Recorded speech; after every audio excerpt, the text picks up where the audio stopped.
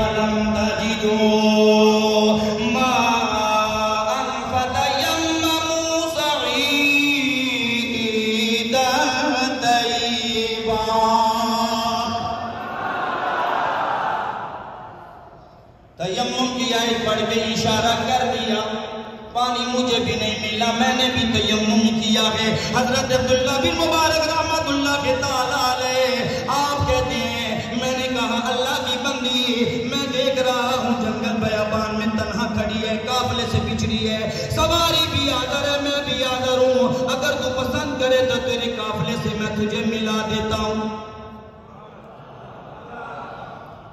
اب لگتا ہے واقعی تھک گئے ہیں ذرا۔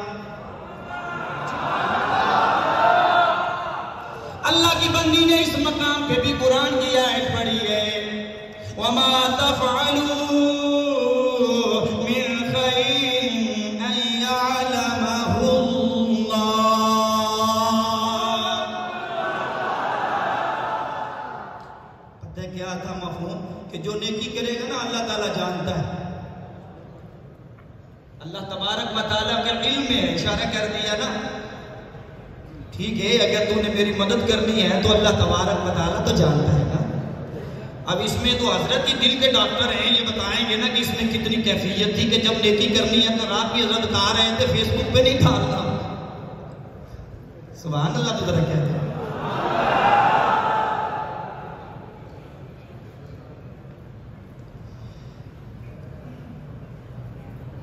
میں بس جتنی آیتیں پڑھنی تھی ویسے تو میرے الحمدللہ بزرگوں کی دعاؤں سے میں اگر آپ کہتے تو ایک سو آیت پڑھتا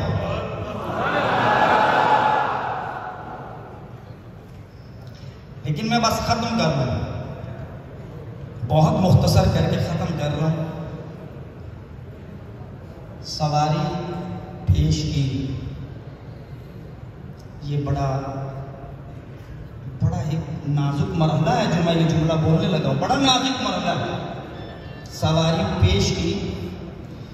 تو جو سواری کی کاٹھی ہوتی ہے نا، جو ڈاچی وغیرہ کے اوپر رکھی ہوتی ہے؟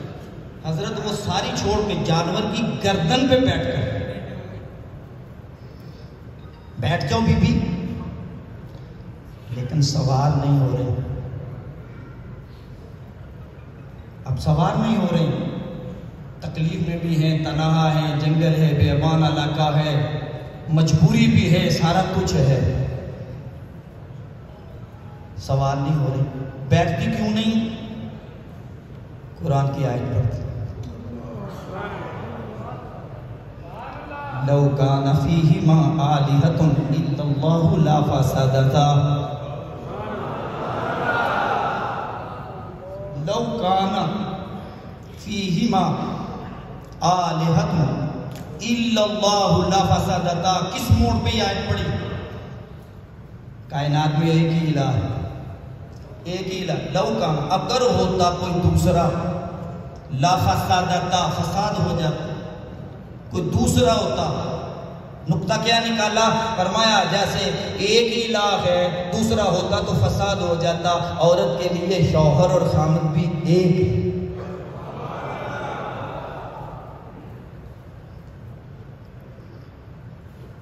کتنا عبور تھا قرآن کے اوپر؟ کتنا عبور تھا؟ ہر بات کا جواب قرآن کی آیت تھے حضرت نیچے اترے، نکیل پکڑی، کہا بی بی ساتھ نہیں بیٹھنا، چلو، میں آگے پیدل چلتا ہوں۔ سامنے قافلے تک پہنچے۔ دھوڑ اڑتی نظر آ رہی تھی۔ اللہ کی بندی اس ساحل میں تیرے جو جاننے والے ہیں، نام بتائے کا نام ابراہیم ہے یا اللہ ہے موسیٰ ہے آج نام ہو قبلہ۔ آجی صاحب ہمارے، وہ کہتے تھے کہ پہلے تو لوگ نام آپ الٹے سیدھے رکھ لیتے ہیں، پھر آگے کہتے ہیں جی بتاؤ اس کا معنی کیا علماء سے پھر، تو بھائی پہلے ہی نام وہ رکھو نا جو اللہ رسول کو پسند ہے۔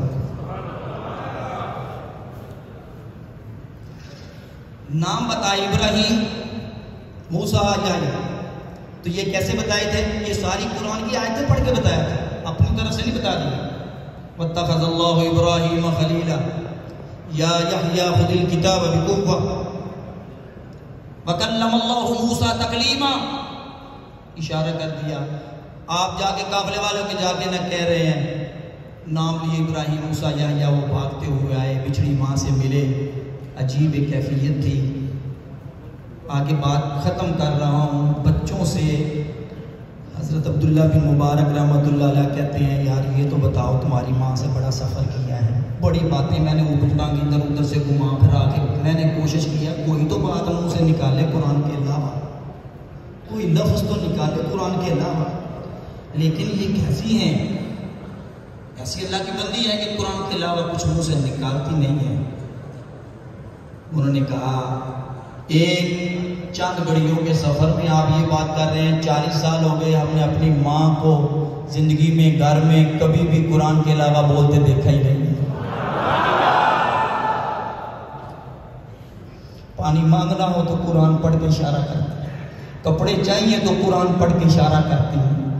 کوئی بھی حاجت ہو تو قرآن پڑھتی ہیں۔ قرآن سے کتنا لگاؤ تھا، کتنی محبت تھی۔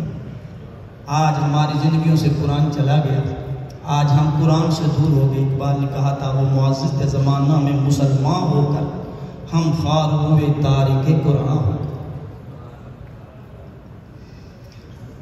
آخر پھر میں اپنے قبلہ حاجی صاحب نا وہ پنجابی میں اشعار پڑھتے تھے، بس وہ پڑھ کے میری چھٹی۔